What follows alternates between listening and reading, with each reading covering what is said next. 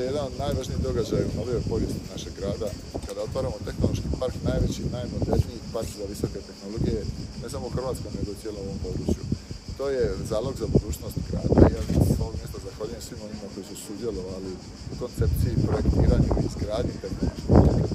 Zahvaljujem isto tako i vlade Republike Hrvatske i premijeru što je prihvatio naš poziv da dođe danas u Split i da bude, da s nama podijeli radost ovog Cijeli projekt je vrijedan 35 milijuna eura, od čega 16,5 milijuna eura se financira iz bespovratnih sredstava Europske unije, a 18,5 milijuna eura će financirati građani grada Splita i direktno iz proračuna i kroz zajam Europske investicijske banke.